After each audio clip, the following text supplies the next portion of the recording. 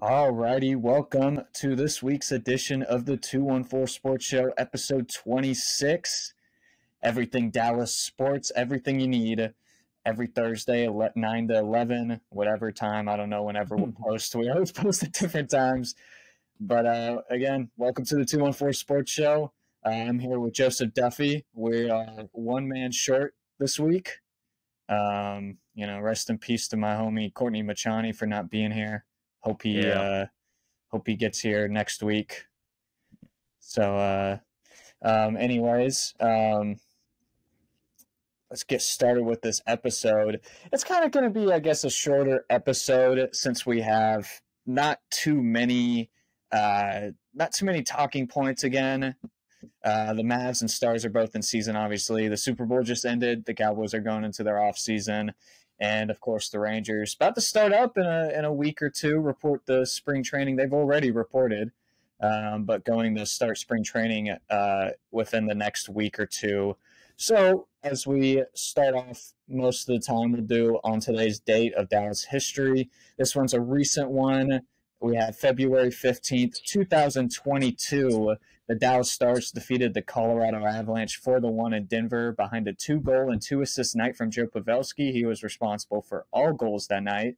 Uh, Seguin and Robertson also scored a goal, and Oettinger had one hell of a game. One of his best games this season, probably one of the best, best games of his career. He had 46 saves on 47 attempts, 47 shots on goals, shots on goal from the Colorado Avalanche. High scoring team. They were even higher scoring, I think, in 2022. I, I believe that was the year they won the Cup. Um, the Avalanche still won the division, still won the World or World Series, still Hmm. Stanley Cup that day, that year. But it was still a great win and performance from the Stars. Uh, The Stars were outed in the first round that year to the Calgary Flames, but you know, kind of kind of good. series is tough, man. The, the Yeah. Classic. Yeah, no, he had a great series that playoffs. This was his first year where he kind of, I guess 2021 is more of his first year where he started to get uh, na- noticed, but this was his year where he really popped off as a perennial uh, NHL goalie. And so, you know, good good game for him. Something that hopefully we can manifest into this next uh, upcoming month or two for Jake Oettinger as he's recovering from injury and has you know, been a little slow with his reaction time in net so far since coming back from his injury, struggling just a little bit, but some, you know, maybe maybe this game gives him, uh, you know, some some motivation. He's on a good roll. He's on a good roll. I believe this He had tied for his um his longest winning streak in his career as a goalie so far. But this whole team is rolling as it stands right now. So hopefully we can look good for Carolina coming up. But we'll get to that. Uh, Yeah, we will. I'm not gonna. Not We'll talk a little bit more about the right Stars later. We're going to start off before we get into the Mavs talk, though. We want to do the trivia. I always do this with the on today's date. Um, this one's kind of since you know the Stars right now currently currently first in the Central Division right now. Um, two or I believe yeah, two points ahead of the Colorado Avalanche, three points ahead of the Jets. The Jets have played less games though.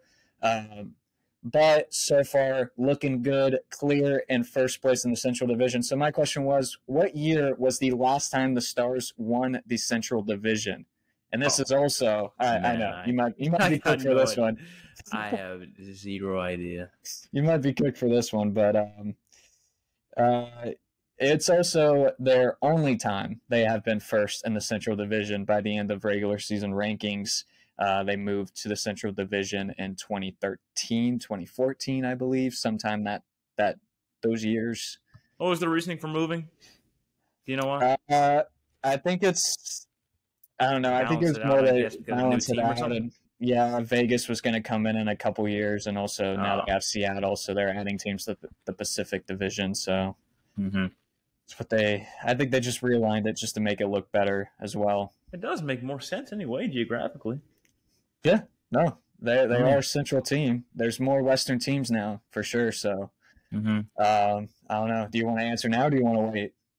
I'll answer now because I'm not going to get Yeah, it. yeah, yeah, yeah. One time, you said? One and only time. All right. I'm going to guess the COVID season then, 2020. Has to be 2020? that, right? Yeah. no. Because that's when we went to the Stanley Cup? No. No, no. Remember, we played the Avalanche in that series and we went to game seven. Technically, we are the away team in that Oh, game okay. seven against Colorado. They won that division. They won the division almost every year.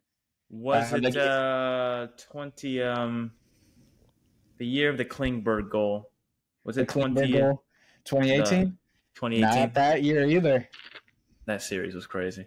Against It was 2015 to 2016 season what? where they finally got the first seed of the Central Division, lost in the second round in a game seven to St. Louis. Yep. Um, tough, but they did get first. They did get first Yeah. tonight that year. So um, that is the only year. Hopefully, they can make it this year as well. Hopefully, they can Yeah, win that. Central Division. But it shows it shows for the Stars that it doesn't matter if they win the division or not. They're always a dangerous team in the playoffs. We talked a little bit about that last week. little callback. Little call back. So, so friendly let's- viewers. let's do Poeltl real quick. I, I'm a I'm a big fan of Poeltl. Um, we do this every week. This is a uh, oh yeah. They actually updated their site, which is I, I hate their new updated site. Let me show you real quick. Hmm. Um, but again, just saying, Poeltl is the Wordle version for NBA players. You try to guess the NBA players. Can you see it now? Whoa, this looks so ridiculous. What is I know. this? I know they made No us. way they got an oil sponsor. Are you kidding me? That doesn't even make sense. Hey man, I don't know what they were doing, man. I don't know what they were thinking. It looks pretty ugly though. What is I don't like the design. But let's get started, shall we? Guess a player. Mavericks. Ooh. I'm inclined to go Daniel Gafford the way he's been playing. Let's do it. Daniel Gafford. Yeah, let's start off with Daniel Gafford. Daniel wrong way to spell it, I guess. Daniel Gafford. What a All right. gaff. Ooh, a tall player. Tall player who's young in the Western Conference. Not in the Southwest Division, though. This could be really. Oh, It's a king. I'm telling you. it's. You think it's a king? Sabonis, he's, you know, he's he's a Sabonis would probably be older too. twenty You think. King? Who Mm, was a me young think. Four? Who was a young uh six ten guy? Young above center. 6'10"? seven footer type. Who's young? Karl Anthony Towns, but I don't know. I think they would count him more as a forward too. Twenty five. We could try Karl Anthony Towns. Do you think? Nah, maybe yeah. Maybe he is a little bit older than that, 26, 27 He's range. technically a center too. So He was he was drafted in what 2015. So yeah, he's more he's older than 25. yeah. Ooh, I don't know if they'd have an obvious one. Like that. It might be a Laker. You can think of any Lakers bigs besides Lakers AD? bigs. Jaxson Besides- Hayes. I would do that one. He's tall. He's Jaxson definitely Hayes? seven one. The former Longhorn, Jaxson Hayes. Former Longhorn. All right, so we got Oh, a seven foot. He's only No, he's 23. twenty three. What? I didn't know that, man. But we do know he's part of the Nuggets, Trailblazers. I'm guessing DeAndre Ayton. You could do that one. Is that is that? Yeah, definitely I think twenty it's. I think he I've may be DeAndre Ayton. He's been having some uh some pretty crazy articles come up on him. Oh wow, okay, okay. I guess it is is. He, he has a low number, but What is this? that's that has everything Thumb. checked off except for the team or the number. It's a Thunder player. You think it's a Thunder player? I could see being a Thunder player too. Uh, Can't think of anyone really seven foot for them. So they got someone at the deadline. I think they only got Hayward though. The Poku Nuggets, is Poku still on their team? Poku. Ooh, wasn't it Poku like last week or so? We got. Do you really one think it's him again? I mean, bro. trying to think of I- anyone on the Nuggets. Jokic has to be older than twenty five. Yes, he's he's definitely pushing thirty. Older than twenty five, and then uh, Who's another big on? Who's this? the Timberwolves. Who's their backup on? the Nuggets? Naz Reid. Naz Reid. The goat. Is he seven foot though? I don't know. I don't think he's seven foot. You don't think he's seven foot? I think he's seven. I feel like foot. he's 6'10", 6'11". And they're definitely not going to give us the benefit of the doubt on that. We got a lot I of don't- guesses, so let's try it. Yeah, he's Damn, 6'9". he is six nine. What? Ooh, This is- This is bad. This is bad. This is bad, man. So We- not we the Trailblazers or the or the Timberwolves. So it has to be the Nuggets, Thunder, or um, who else am I forgetting in that division? The Jazz. So the Oh, is it- is Jazz. Lauri? We haven't thought about the Jazz. Is it Lauri? Lauri, do we count him as a center? That's No, no, that's no, no. It's this. question. It's the Oh. Walker guy, Walker something. Walker, Walker Kessler. Walker Kessler Isn't is he? Walker. Ke- Isn't he older? I think he's or younger. I mean, He's definitely 25. I don't think he's young 25, because he, he definitely 22. But it is the Jazz. We got the Jazz finally. This is bad, but we got to get somebody. I mean, We can't show the silhouette if we, get, if we get in trouble. It's gotta Let's be Lauri at this point, right? Yeah, yeah. Lauri Markkanen. Let's just try him real quick. Dude, what? Who many else is on? photos the Jazz I don't know the? Jazz roster, bro. I knew they were going to count him as a center. Let's do the silhouette. We can't get this wrong. Yeah, I can't. Get, I don't know who this is, dude. Oh, what the hell? What the hell? Okay. What? Looks like a white player. Yeah, I was about to say the same thing. I mean, respectfully, I think that's a white guy. Just looking at the hair. Yeah. Ooh. Who's white in a center for the Jazz other than Kessler? I can't think of anyone on the Jazz, man. It's gotta be like a. He's gotta be at the bottom of the rotation, where he probably doesn't get much playing time. Yeah. Oh This- man. This is Oh man. I feel bad for anybody watching that knows. You This know, is I feel like bro. that's got to be really bad. Oh man. I'll just put Don't some know. names in real quick. Simone F- uh, Fontache- Fontecchio just got traded to the Pistons from the Jazz. I don't think. I Not don't this is, Fernando. I might. I might have to tap. I think we tap. I think we tap. yeah, it's tough. is the five Jazz minutes. roster. Oh man, it's not John Collins, not Walker Kessler. Uh, Taylor, is it is it Luka? The other Luka? It could be Lucas Sam- Samanic. Oh, might be. Could be. Let's try him out real quick. Ooh, wrong one. Lucas. And it was not him. What? So they just have a bunch of white tall players. Who is this random guy in the Jazz? We have one more. Is it Omer Yurtseven? I think it's Omar Omer Yurtseven. I didn't know he was on the Jazz. But that oh will be the correct answer. He is 26. Oh, Lord. Wow. We weren't guessing that, dude.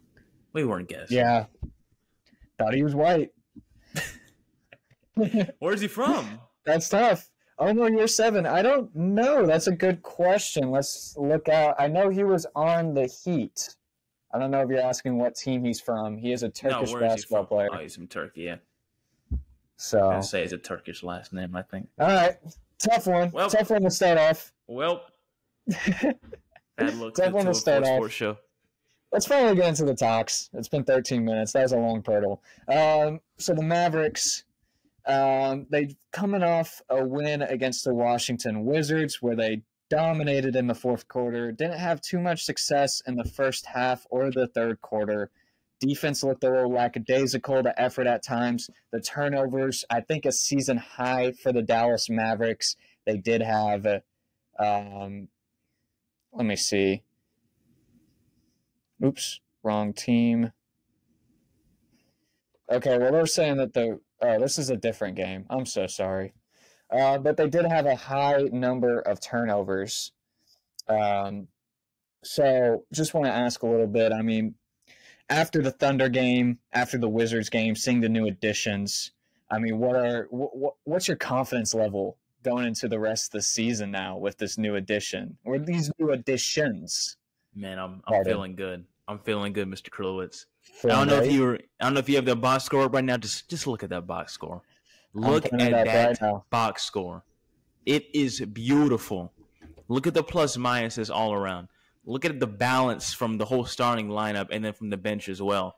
And dude, just look at how, you know, I don't want to be that guy, but D and P Dwight Powell. I mean, we're showing that we have at least some front court depth right now. Perfection. it's perfection. It is actual perfection. but man, just look at the balance. I know that it wasn't, you know, Tim Hardaway's night. He was kind of putting up some bricks on the, from the bench, but overall, this team, I mean, the fourth quarter presence, like we've talked about in the past, this team is very clutch.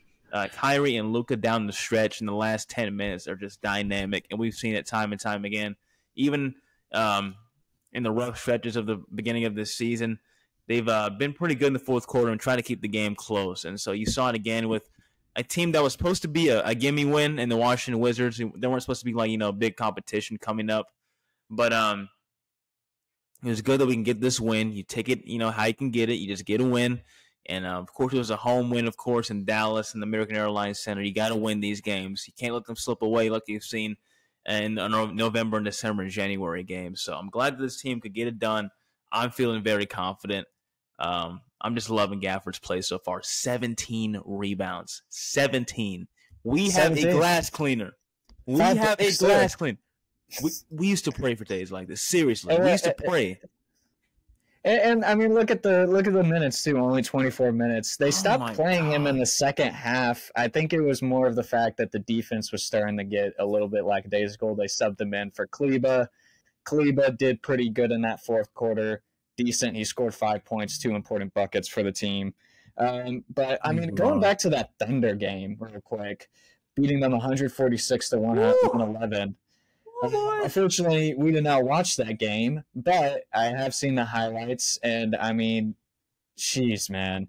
I'm oh, saying right now that's by far our best win of, of the, the, season. Year, I think sure. the only win that could be even better was our Phoenix victory and on Christmas. Phoenix, yeah. But I mean, just the way that we dominated the Thunder. I mean, you look at the top teams in the NBA. All right, you look at the Nuggets. We always lose to the Nuggets. I think we're 0 2 on them this year. The Timberwolves we're one and three on them this year. Um, the Thunder, we've also lost all of our games against the Thunder this year. I think we're zero one previously to them. The Celtics zero one. The Bucks 0 2. The top teams right now always dominate. Cleveland right now, who's become a top team in the league somehow, uh, zero one against them. Um, so the way that we were able to finally win one of those games, excluding the Minnesota victory, plus dominate the way that we did, I mean, just a masterpiece. By far our best game of the season, coincidentally, or maybe not coincidentally. I don't think it was coincidentally. The first game sure sure that we had our new two players, PJ Washington and Daniel Gafford.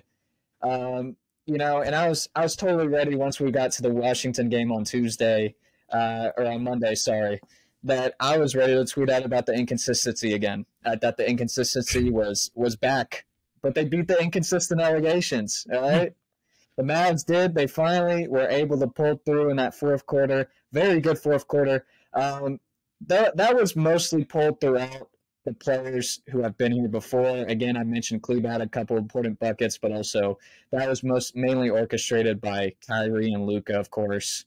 PJ Washington wasn't too much of a factor, I think, in that game. I think he struggled a little bit. I hope he finds his grounding. I think he yeah. will.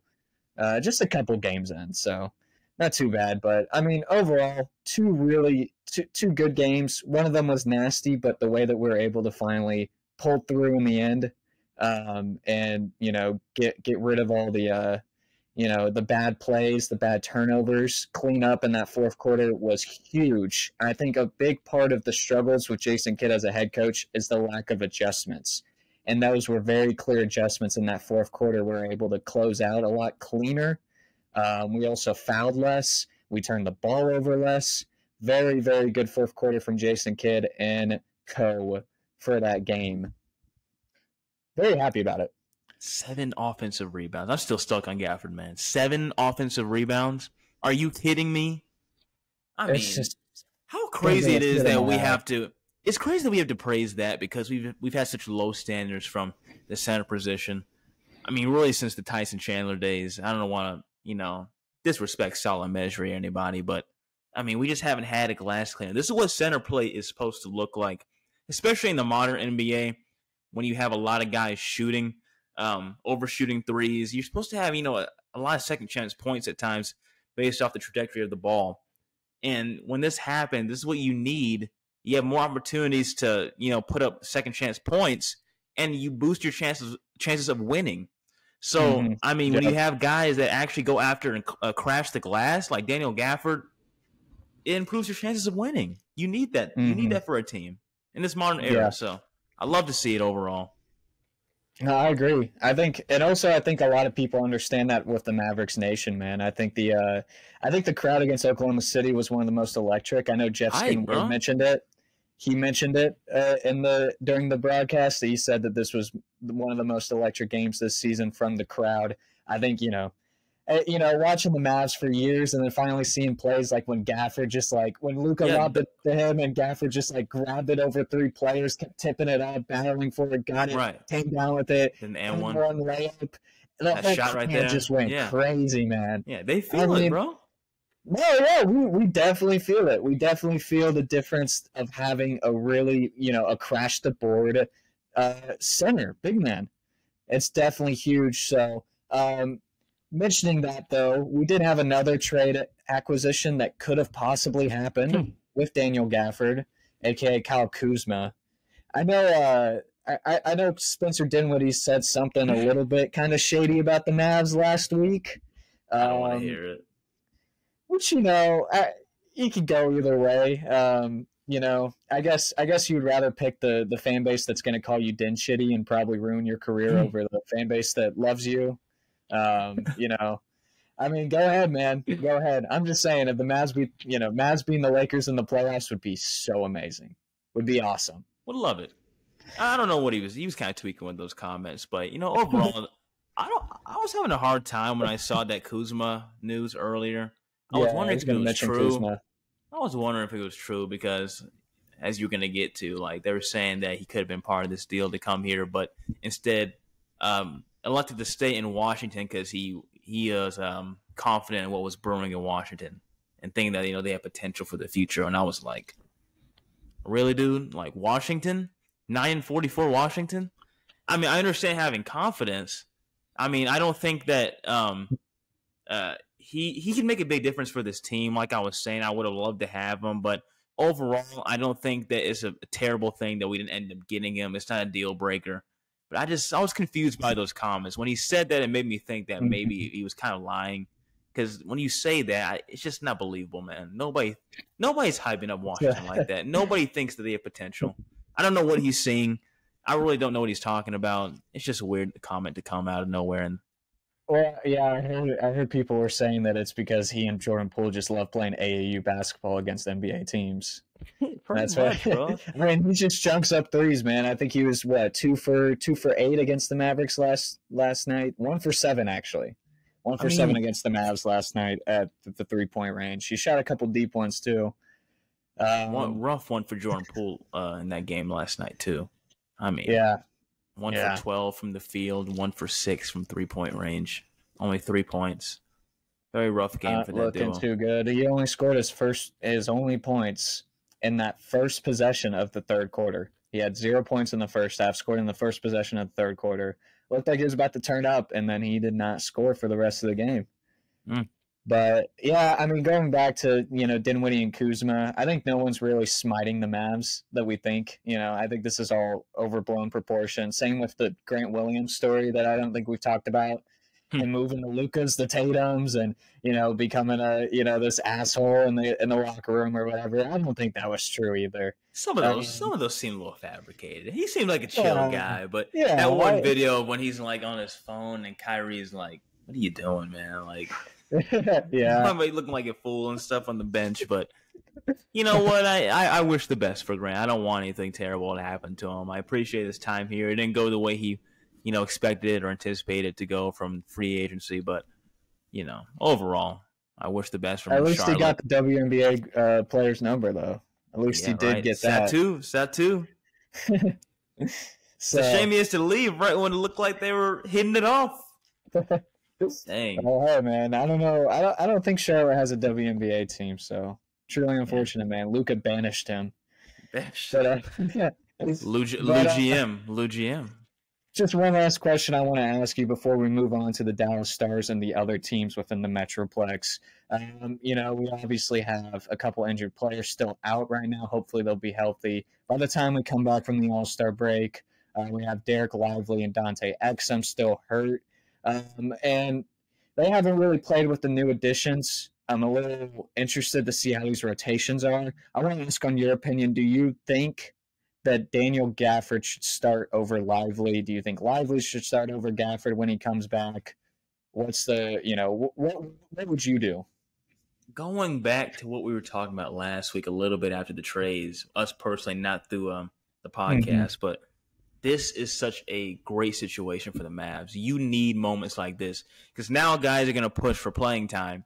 Uh, mm-hmm. And just think about two weeks ago where we were wondering who we could get, and you know we were in um, kind of a bind in the front court. But now you have guys who are capable of being starting fives on your team. It's a really tough predicament for Jason Kidd. He's going to have a really head scratching situation for him. But I think I would keep it rolling right now with Gafford. Um, I know he's been crashing the glass a lot, but that doesn't mean that he has to, you know, take a big chunk of the minutes. I do think that Lively deserves to get his part. And, you know, he's banged up a lot, but he's a young spark that can come off the bench for this team. He can have his starts at times just based on the matchups.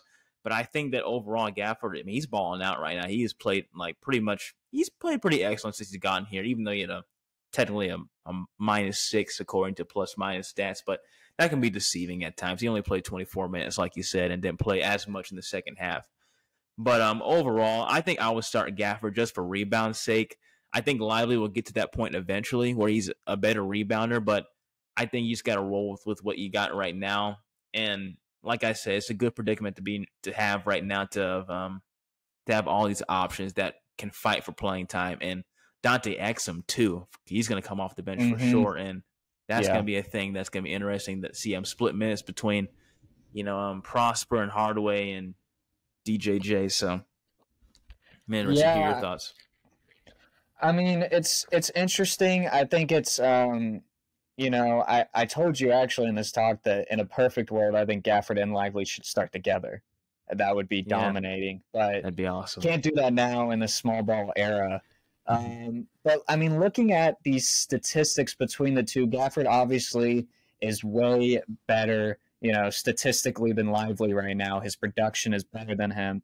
But I'm starting to think maybe maybe Gafford goes into that second unit when Lively, Lively comes back. Sorry, uh, just because I know that the statistics with him with Luka on the court is really good, um, and that Luka benefits with Lively a lot. Obviously, small sample size with Gafford right now. We don't know. Luka's been doing really, really well with Gafford too. But just because of that, I think you got to pair Luka with Ga- Lively.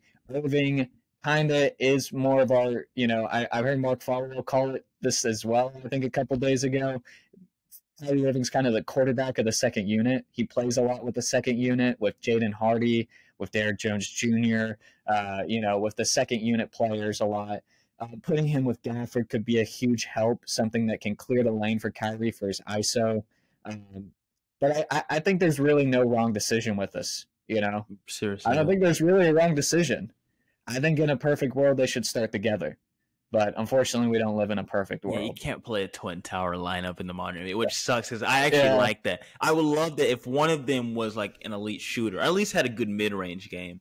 But yeah. since neither one of them are really like mid range guys and they rely on the floater and the putback game, I mean, you just can't start both of them. It, it's good to have at least one of them come off the bench and be a spark.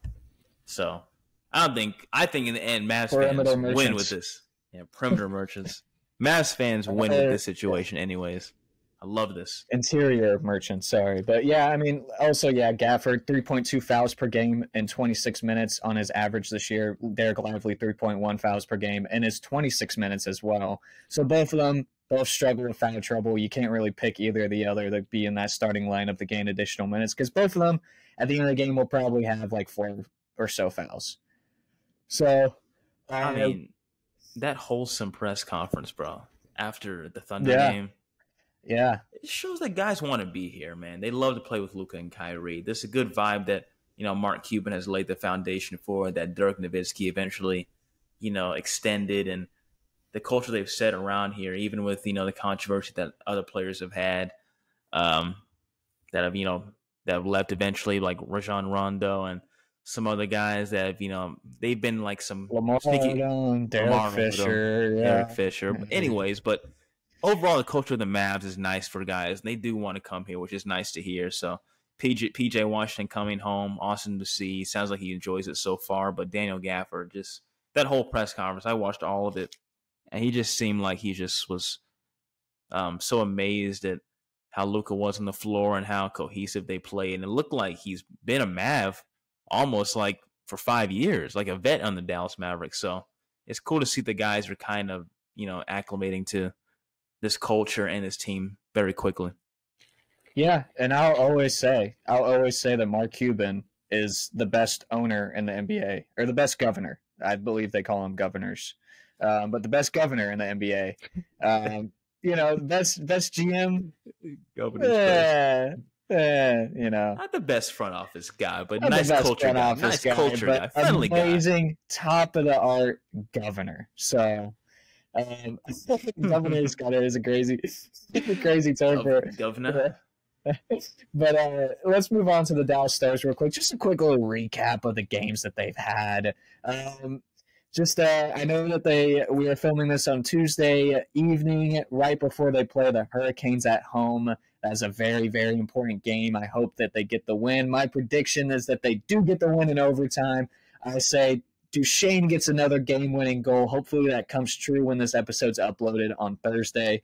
Um, but let's go ahead and talk about Montreal um, on Saturday. Early, early game at 12 o'clock.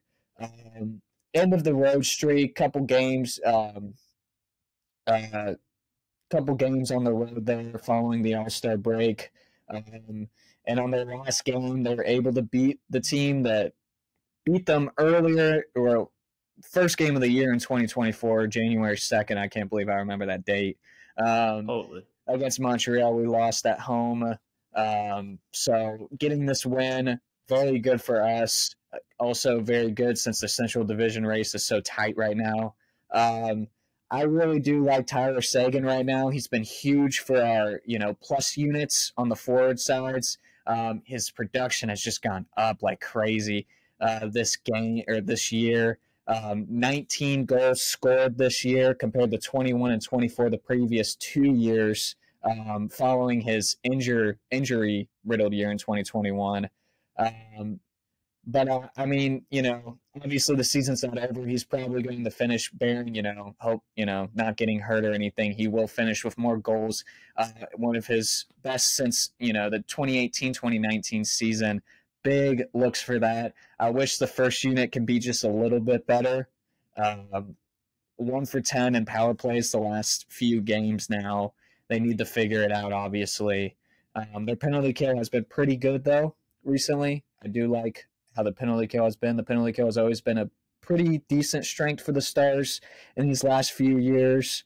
Um, but overall, just really need to focus on getting better on that power play as of right now. I think that's really our true weakness as of right now. And that is like crazy to think about right now because Pavelski, Hintz, Robertson, I mean, one of the best lines in hockey. One of the best lines in hockey. I can't believe how talented that group is. Um, they'll get their group back eventually. Robertson again, kind of having a down year with scoring, um, but overall, still a very good player. Still, I believe, leads the team in assist. So, still doing good on that side. Um, but yeah, that's really all I have for the Stars. They still have their trade deadline, so we'll see if they'll make any additions like the Mavericks to improve their team. They don't really need to do it like the Mavericks. The Mavericks desperately needed uh, some trade acquisitions, but the Stars not as much. But there's still room for depth. So, anyways, that's really all I got for the Stars. Do you want to add anything? Hopefully, keep the streak rolling, like I was saying. But it's good to see Tyler Seguin get back in the groove. You know, the former uh, big time player here, but you know he's kind of taking a back seat to the young guns that have been on the team in Roope and Robertson. But it's good to see him uh, have such a big game against Montreal. So hopefully this team get another signature win in the AAC against Carolina, who's been a very solid team overall in the year. But hopefully this streak can get, go, get uh, keep uh, building on because Oettinger he's um, having, like I said in the games, having his longest streak in his career. So. Mm-hmm. Um, hopefully they can keep it going. That's all I got. I'm getting better, TJ. Man, I wish Courtney was here. The the He would have been rolling his eyes at those comments right there. You don't you don't know about that puck. yeah. I would I would love to see his uh, talking points this week. Can't wait for them next week, Courtney. Yeah. Um, so we'll go to uh, the Cowboys real quick, going into the off season. A couple of interesting quotes that have come come out recently for the Cowboys. Real quick though, you know, 49ers Too bad, man. Too bad. Oh well. Oh no. Oh no. Forgot overtime rules. Y'all lost. Missed the blocking No. assignment. Not the Oh Niners. no. You guys Kyle lost the game Shanahan. that could have easily been won. First time. I guess y'all won't. I guess y'all won't surpass us in Super Bowls. I guess you won't get number six. I guess we still have a more recent Super Bowl win. The Niners are behind us. Yeah, well, Dang. okay, you know. Tough, tough loss. Tough Hey, loss. I'll bring up the pass for that. That's it.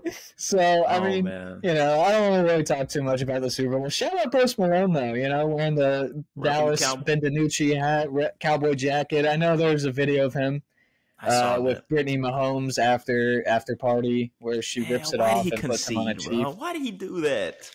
You know, that's really depressing.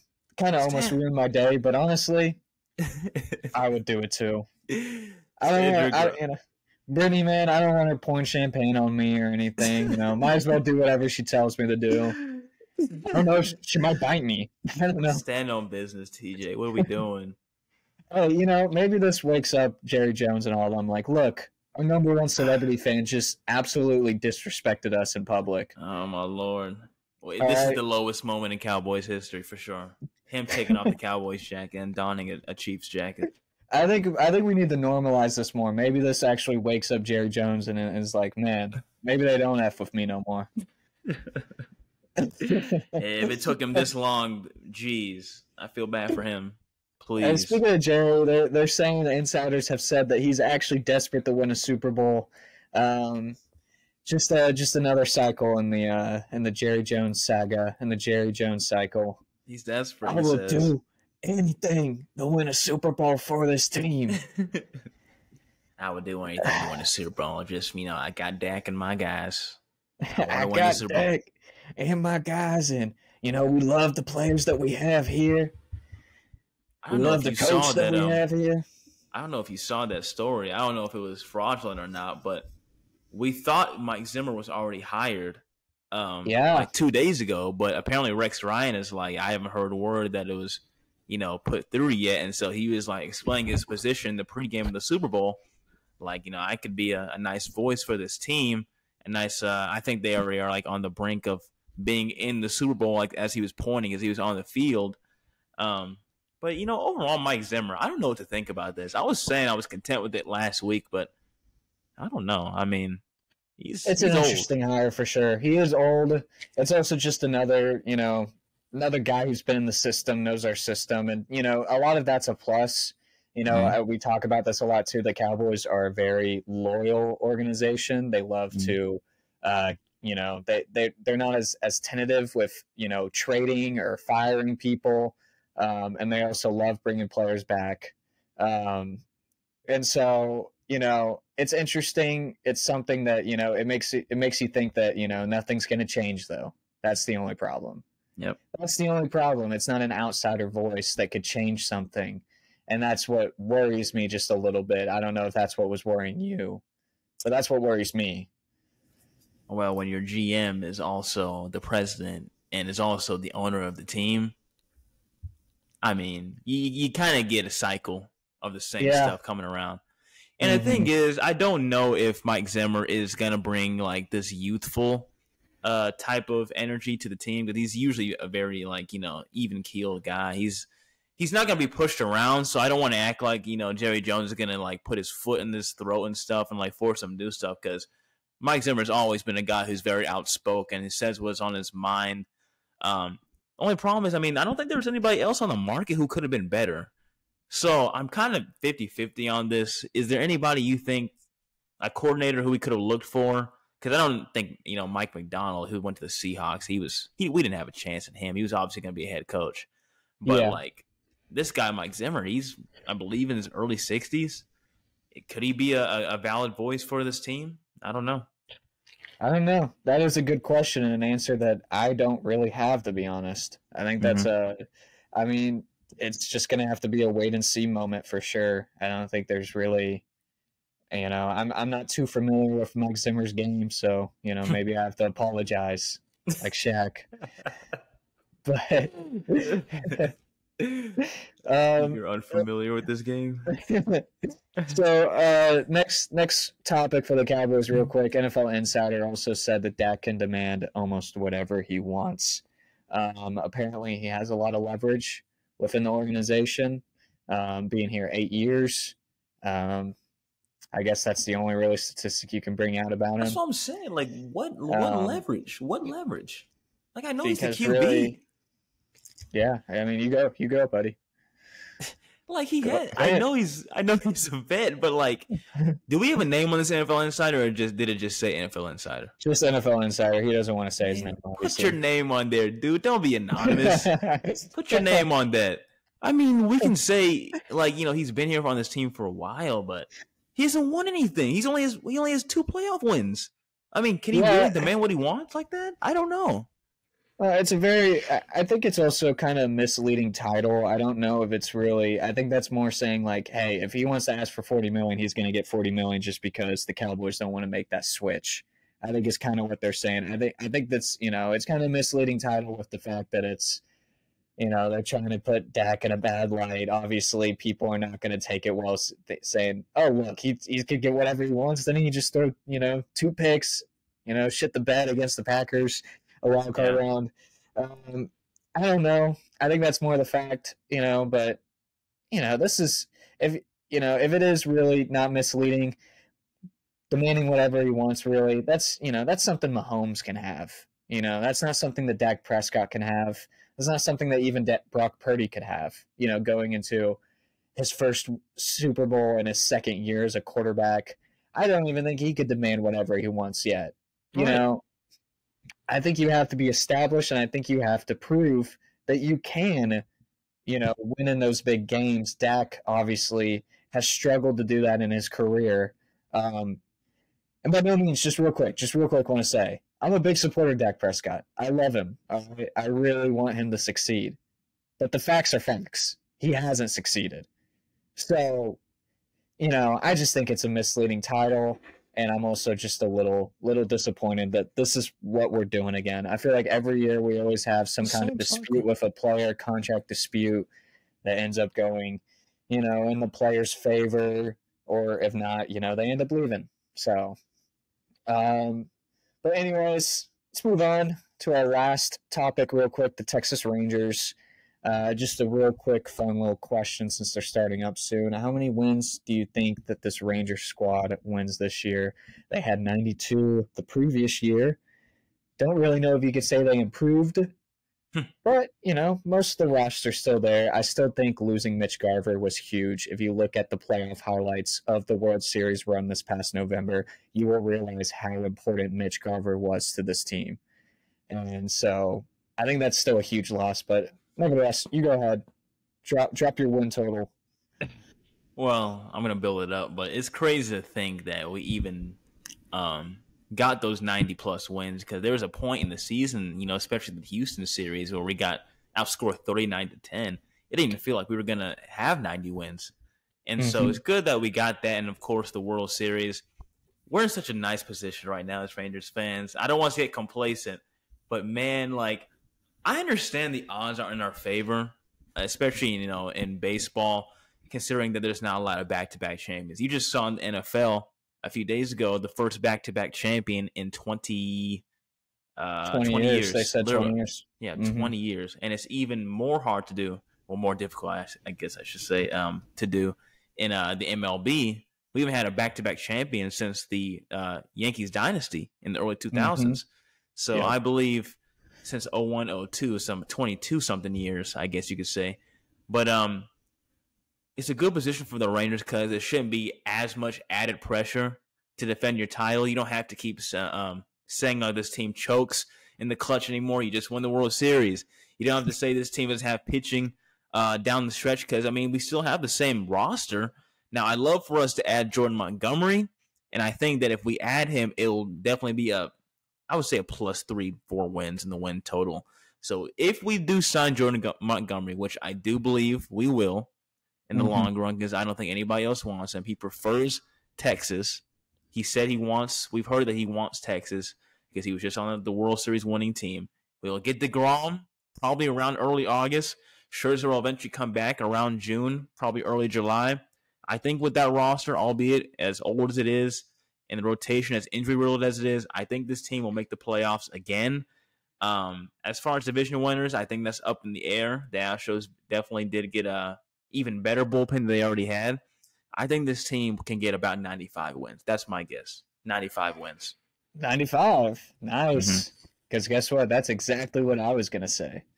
I think it is 95. I, I, think they get to about that time. I think the bullpen improves this year, and I think that that helps this team um, win a couple more games that they were not able to lose or able to win um, last year. Only a three win difference, though. I don't think they get the 100 wins this year. I'll say why. Um, first of all, expect, and I don't, I'm not really expect, but don't be angry if the Rangers struggle at the first part of the season. I think this is a very, I think this is something that could very easily happen. Um, the Rangers without Jacob DeGrom, without Tommy Mall, without uh, Max Scherzer, all coming back from Tommy John.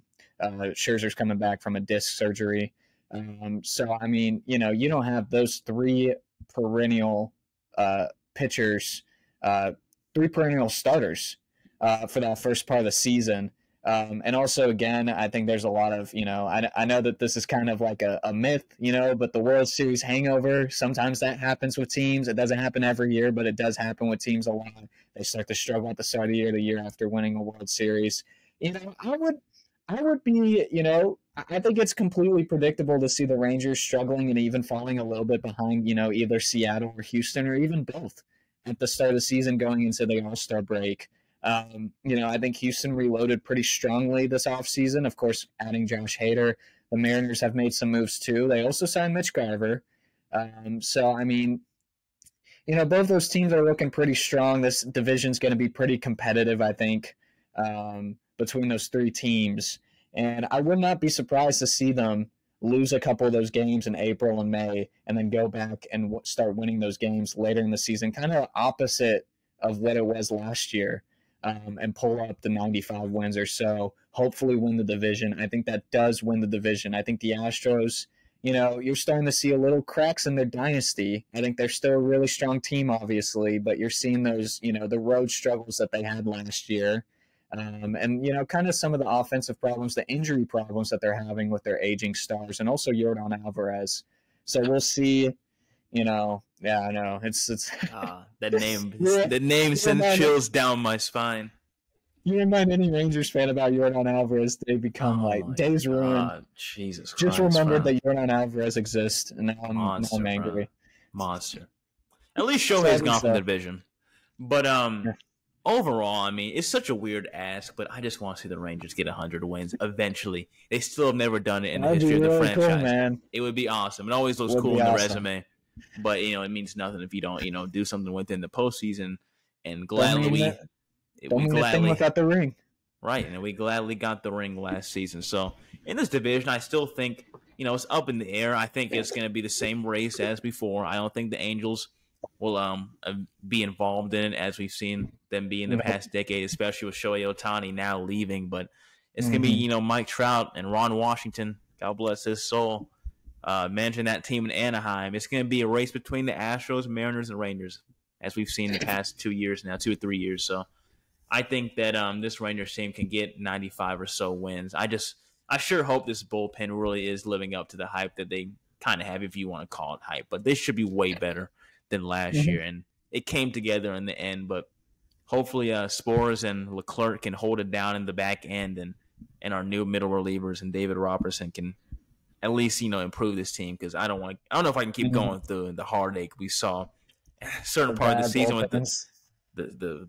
blown saves. Man, it's just well, it was the, a lot of the blown saves that we had from last year. Will Smith, Will Smith, and you know part of Chapman in that second half. Both yeah. both those players gone. Will Smith though, three years in a row winning World Series. Maybe we try to get him in the trade trade deadline just to keep that run going. You know. Yeah. Um, but yeah, I guess I guess much like the Stars, the Rangers are a team that you know it doesn't really matter where they're seated in the playoffs. They can they have proven that they will you know play good no matter where they are, no matter if they are in the division or they win the division or not. So, uh, you know, we'll we'll see we'll see how it goes. I think that's really going to end it with the Rangers. They're, you know, it's tough to tough to go back to back. You mentioned it. You know, last time that a team's gone back to back, I believe, it was 2000. Um, I don't know if you remember back in MLB Network uh, before the Diamondbacks went to the World Series against the Rangers. They were asking if history would repeat since they won in 2011. Not the 9/11 part though. That's what they. That's what they. That's what they said. I saw. Oh, I forgot about said. that. You remember I forgot about that. There we go. Yep. I thought that was your joke yeah. at first. I was like, dang, bro. No, but seriously, like I remember they put that, and I was like, No, are they you put that kidding in me? the, the NFL or the MLB Network. They asked, "Will history repeat itself? Will the Diamondbacks win another World Series because they beat the Yankees in 2001?" And then he goes, "Not the 9/11 part. The uh, Oh my god the disadvantages of going live." dude, live TV is special, man. It's special. yeah, you know, Chris Broussard has proven that this year as well too. It's the maritime.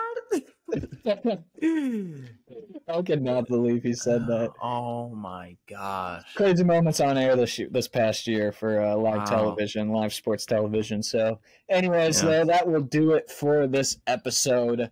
Um, we appreciate you guys tuning in. Um, you know, we, we love to we love to talk Dallas sports, and uh, we hope you guys are enjoying the content that we give out. Um, you know, you can follow the 214 Sports Show on YouTube and Spotify at 214 Sports Show. It'll also be the same handle for Twitter slash X, Instagram, and TikTok. We'll post them, you know, we'll post uh, some highlights from the podcast there. We'll also post some of our thoughts and some analysis from the games throughout the week for Dallas sports. Um, so, you know, go ahead and follow us there. For our personal social medias, um, you can follow me on Instagram at tj.krilowicz. Um, you can also follow me on Twitter slash X on TJ underscore Krilowicz. Both of those links will be down in the description. Same with our uh, company, you know, same with the 214 Sports Show. Anyways, Joseph, you want to go? Yeah, I'll go uh the company. But yeah, Yeah. um uh, you can follow me on Instagram at uh J underscore Duffey ninety nine.